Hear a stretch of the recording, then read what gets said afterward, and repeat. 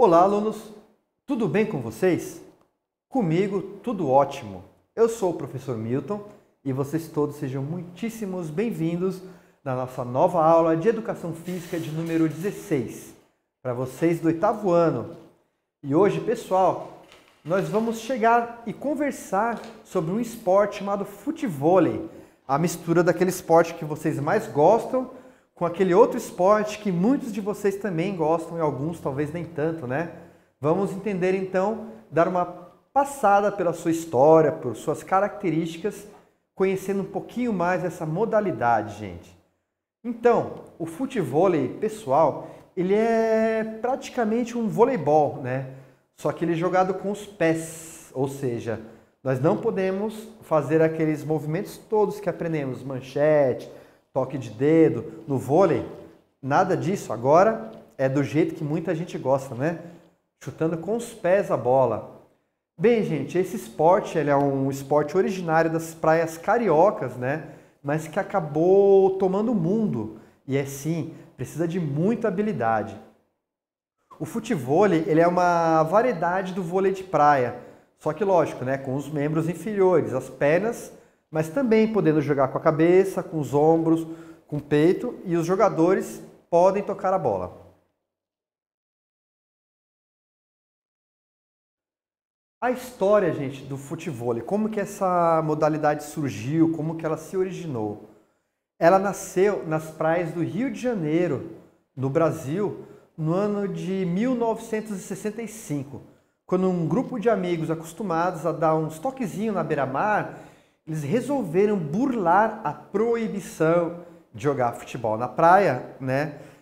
E assim, utilizando-se das redes do vôlei de praia de Copacabana, eles decidiram formar duas equipes para jogarem com, com a rede no meio, unindo os toques dos pés ou das outras partes do corpo, né? Ao invés das mãos, eles acabaram criando assim essa nova modalidade que nós chamamos de vôlei com futebol, o futevôlei. Tá? A partir desse momento, essa modalidade ganhou inúmeros praticantes, né? o pessoal viu, provavelmente o pessoal jogando futebol na praia, acharam interessante, acharam divertido e ela foi se espalhando, foi se proliferando, né? ganhando inúmeros praticantes e evoluindo até surgirem as suas primeiras regras, né? até ela se tornar um esporte formal. E quais são essas regras do, desse esporte do futebol? Bem, gente, ele é um esporte com uma bola, né?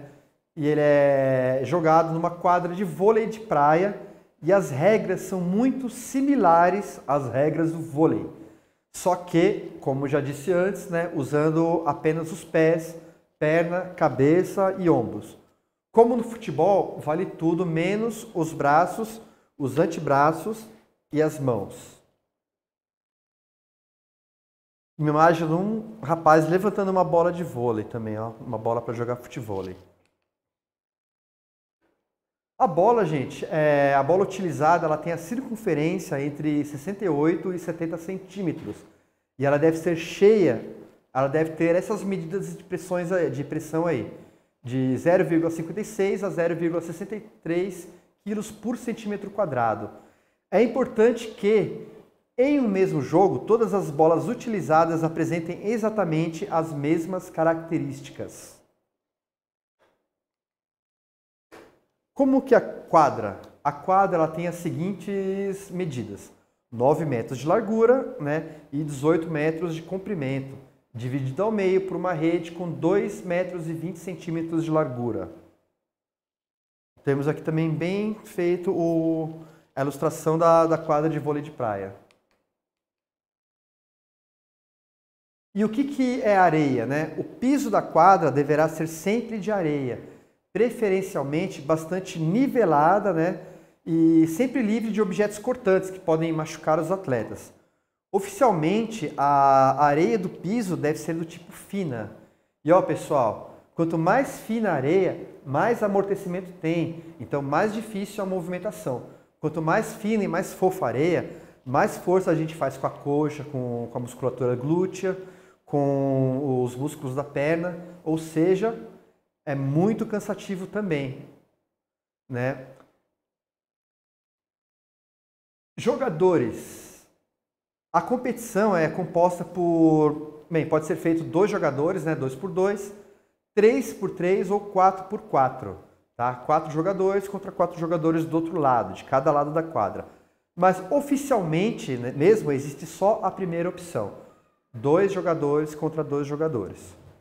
Como no vôlei, gente, é permitido um máximo de três toques na quadra, podendo passar para o outro lado do campo por cima da rede de primeira ou de segunda também. Tá? Então, assim, ó, é... com certeza nós temos muito mais controle, direção jogando vôlei com os braços, tá? Então, com a, com a perna, ela tem a mesma condição de, de jogar a bola por cima da rede, mas tem a mesma regra do vôlei que também podem dar três toques aqui na, antes de passar a bola para frente. Mas é mais fácil dar um chute direto, né? A pontuação e fundamentos. Geralmente, um jogo ele é disputado em até 3 sets de 15 pontos. Ganha a equipe que vencer dois sets primeiro. Os fundamentos são basicamente o saque, a recepção, o passe, o ataque e a defesa. Cada equipe dispõe de três toques para devolver a bola, não sendo permitido ao mesmo jogador dois toques consecutivos, que nem no vôlei. Né? Mas, diferentemente do vôlei, né, só se usa o pé, a coxa, o peito, a cabeça e ombro. Nada de mãos e nada de braços. Então, pessoal, todo esporte que ele começa a ficar famoso, que ele começa a ficar muito divulgado, é, ele precisa ser regrado, regulamentado. Então as pessoas para fazerem campeonatos, elas precisam jogar com as mesmas regras, né? E aí são criadas entidades que regulam o esporte. E a nível internacional existem duas entidades reguladoras da modalidade: a Federação Internacional de Futebol e a Federação Europeia de Futebol. No Brasil, o órgão principal é a Confederação Brasileira de Futebol Clique nas imagens, gente, para acessar os sites. Quem quiser conhecer a, essa modalidade ou as entidades que a regem.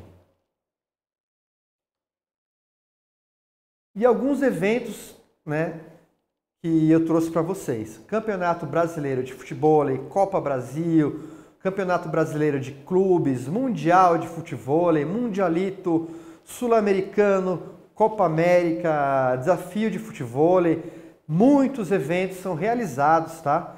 E as categorias são essas aí, masculino, feminino e misto. Tá? E assim, ó, gente, é... as categorias são por idade, né? E o futebol, ele pode também ser feito indoor, ou seja, ele não precisa ser na praia. Ele pode ser feito numa quadra fechada, desde que o, a, o campo seja coberto de areia. Estrutura de eventos da Confederação Brasileira de Vôlei, da, de Futevôlei e da Federação Internacional de Futevôlei. Então é esse formatinho de arena aí, ó. É bem interessante porque é um formato onde você tem a quadra, né, o campo, e você tem espaço também para o público.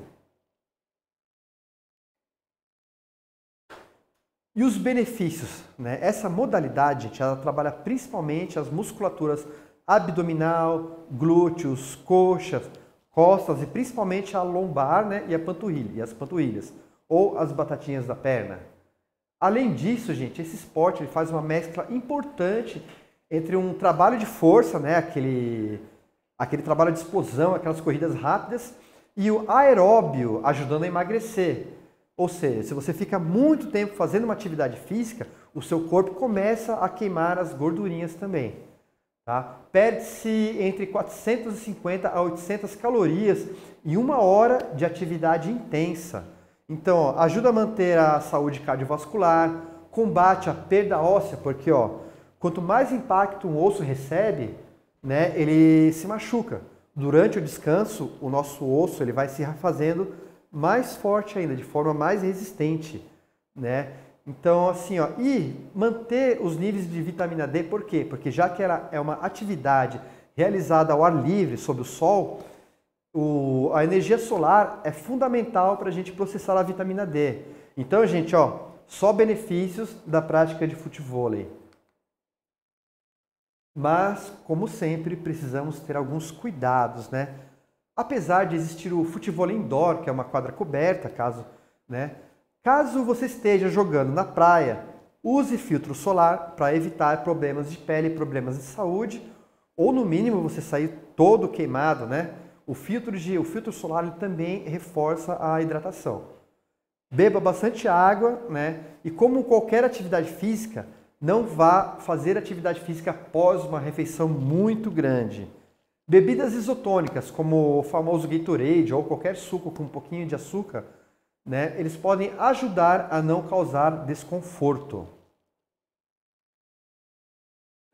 Assista.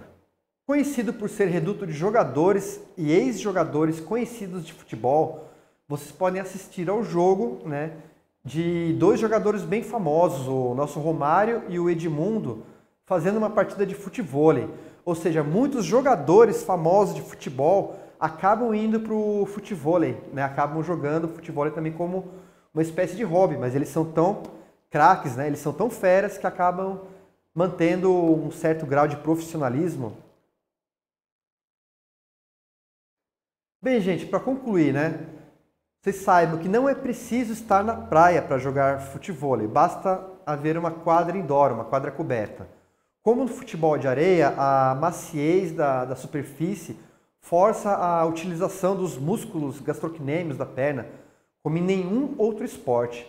Ele é uma ótima atividade física, né? um ótimo atividade com intensidade e ele trabalha força e resistência ao mesmo tempo. Eu espero que vocês tenham gostado de conhecer o futebol, gostado da aula de hoje. Respondam as questões propostas na atividade e tenham vocês todos uma ótima semana de estudos.